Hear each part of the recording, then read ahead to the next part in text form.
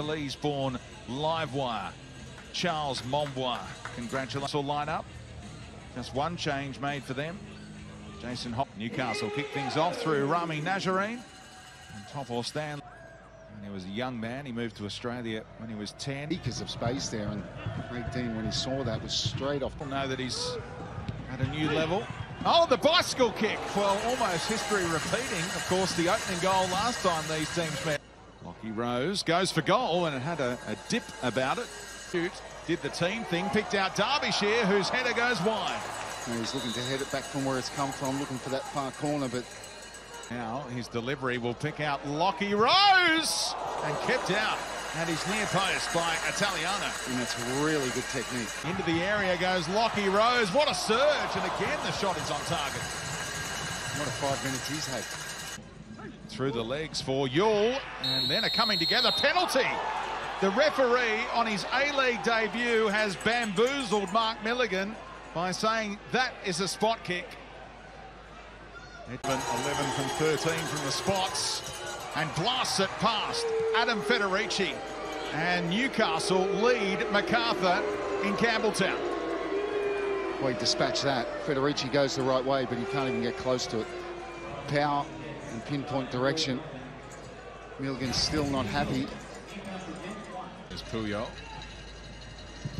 And the strike! And Italiano flashing across his goal. Shell of Lockie Jackson. M'Mombwa, big chance, starting debut. is marked with a goal. The running of the Bulls. That was electrifying. And what a moment for this young man from Congo to Australia with love and support. Well, it's a very good finish as well. Kind of situation. Derbyshire for Puyo! And right before half-time, Macarthur FC take the lead. Utilise those three minutes of stoppage time. And what about the execution on the counter-attack? Absolutely first class. At the break, it's Macarthur 2, Newcastle 1.